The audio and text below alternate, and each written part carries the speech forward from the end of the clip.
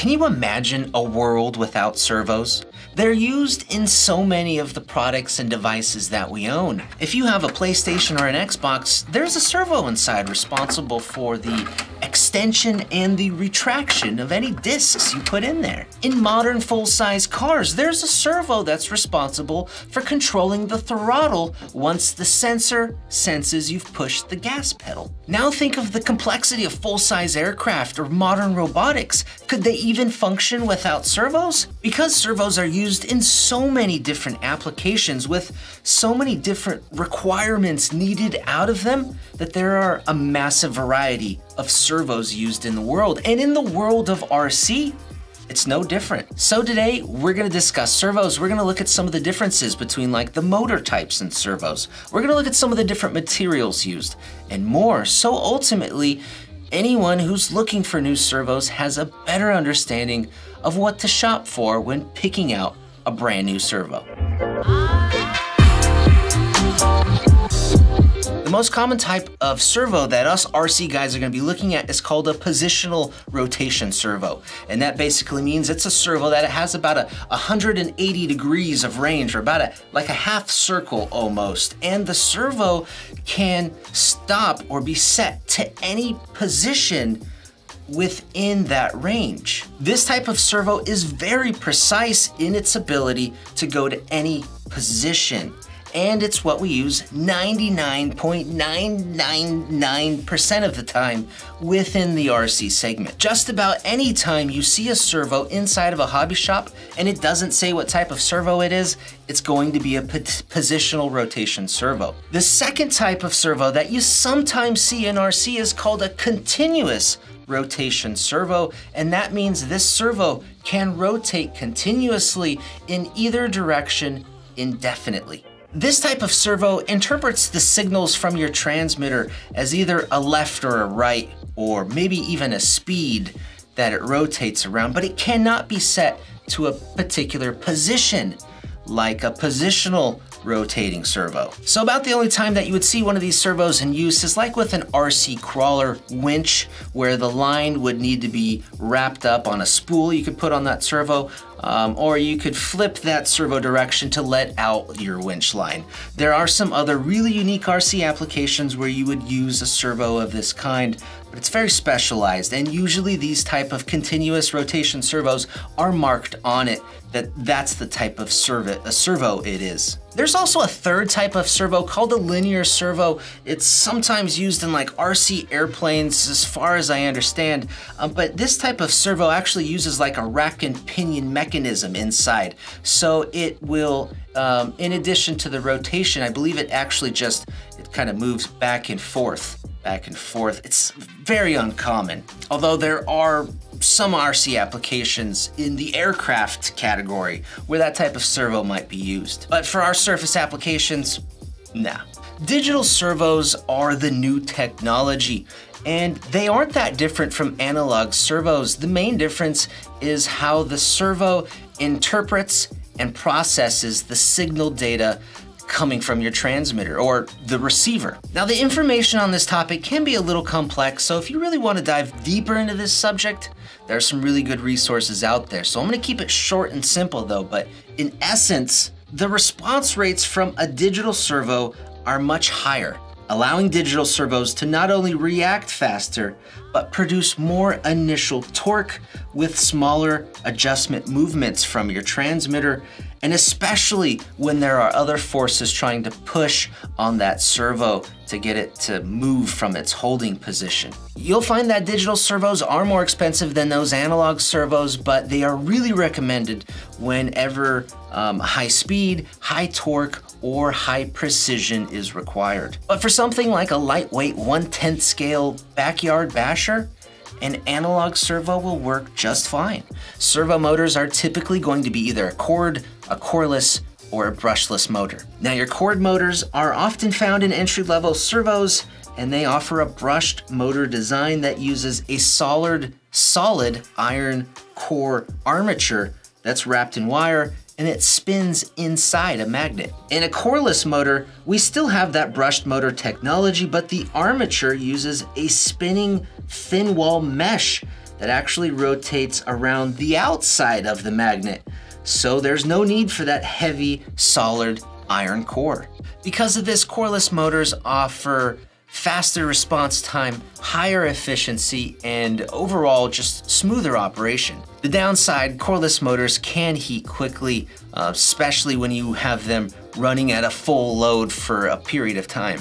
The third motor type commonly found in really high-end servos is the brushless motor. With the brushless motor, the mechanical parts inside that were used in the brushed motor are removed and they're replaced with electronic semiconductor switches, making brushless motors very simple and extremely hard to wear out. If you have a brushless motor in your RC model, uh, you know that that motor will just run pack after pack after pack almost indefinitely. Brushless motors require uh, pretty much no maintenance, and they'll last almost forever. Well, brushless motors and servos are no different, offering longer lifespan, increased reliability, and increased torque per watt of power output. The downside to brushless motors inside servos, they're expensive. But as some people say, you get what you pay for.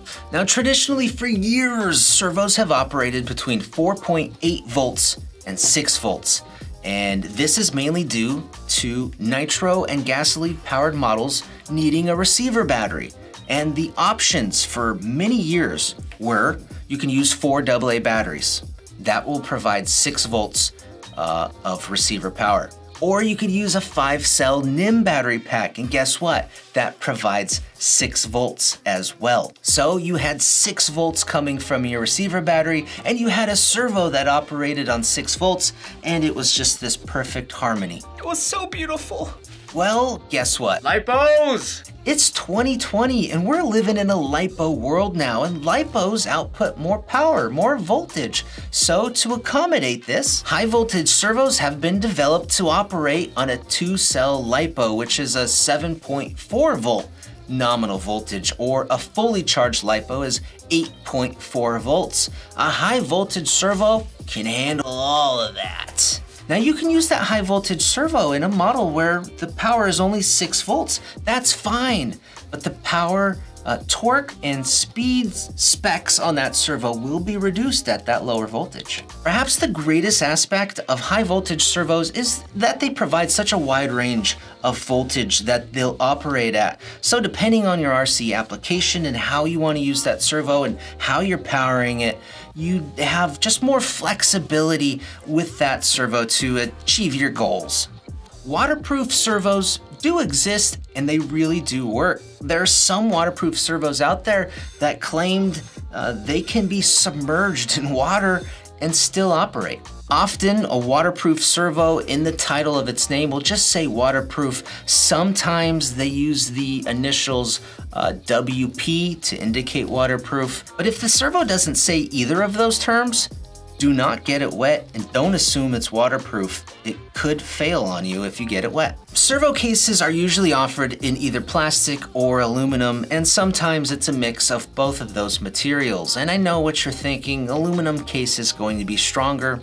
Yeah, it is, but there are some other real benefits to having an aluminum cased servo. First, that aluminum case is going to have aluminum eared mounting points on the side of the case, so it's just more secure when you mount it inside your car and the likelihood of one of those ears breaking off in a collision is very, very unlikely. Once that aluminum case servo is mounted in your model, it's very unlikely it's going anywhere. Second, aluminum works really well at dissipating heat away from a heat source. So an aluminum case servo is gonna help take the heat generated inside and dissipate it out and away. Aluminum case servos also work really well in just high temperature climates, if it's hotter where you are, or if you have a nitro vehicle. There tends to be a lot of heat inside nitro vehicles. Aluminum case servos are really ideal in these applications. Thirdly, and most importantly, any servo that is really, really powerful puts a lot of strain on the internals, the gears, the pins, the output shaft bearing that's at the top, a really powerful servo is going to wallow out those mounting points inside the plastic case. So a really powerful servo needs to have that aluminum case to just hold it all together. Otherwise, the servo isn't gonna last as long. And in the long run, aluminum case servos are just gonna way outlast a plastic servo. Now, the downside to having a full aluminum case servo, It's expensive. It's normal to find the servo gears made from different materials as well, usually to match the strength of the servo, so you're using an appropriate material for the power output. On the low end of servos, you'll find gears that are going to be made out of a plastic or like a, a nylon material.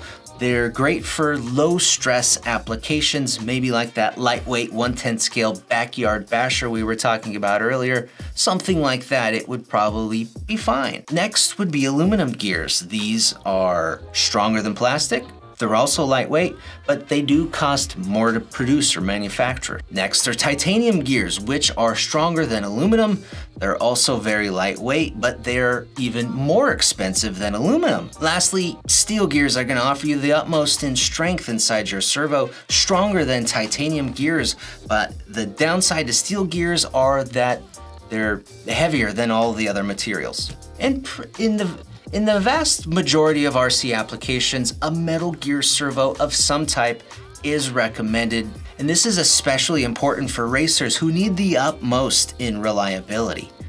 The servo torque is the maximum power the servo can provide, and it's usually in the units of ounce inches, meaning, for example, if we have a servo with 300 ounce inches of torque, then that servo, when using a one inch long servo horn, can move that weight, which if you convert 300 ounces into pounds, it's about 18 and 3 quarters pounds that servo can move. So for torque, the higher the torque number, the more powerful. For speed, this rating is just telling us how fast the servo can move um, 60 degrees to a specified location. And with speed, lower the time, the better. So for example, if we have a servo that will do 0.10 60 degree a second transit speed, that means the servo can move that 60 degrees uh, in one tenth of a second. Now when picking a servo, usually the recommendation is to get something that's,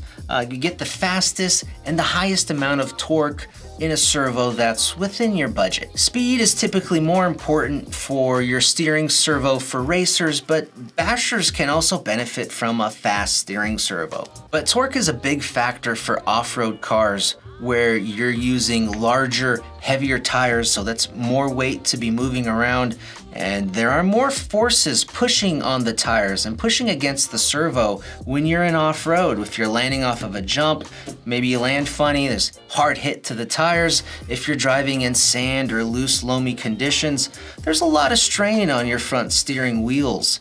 Um, so in off-road, torque is really important. For on-road, where reaction times are just ultra important, speed typically weighs out in the servo selection and torque isn't so much of a factor. Now for some really rough guidelines, rough recommendations for what specs to be looking for for certain applications, we recommend that for 1 scale applications, those are kind of smaller and lighter cars, a steering servo that provides 200 ounces of torque is going to be pretty dang good.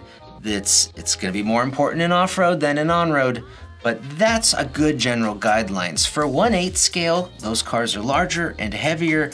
A servo with a torque of around 300 ounce inches is probably where you're going to want to be looking. And if it's a nitro model, the same recommendation applies for the throttle and brake servo.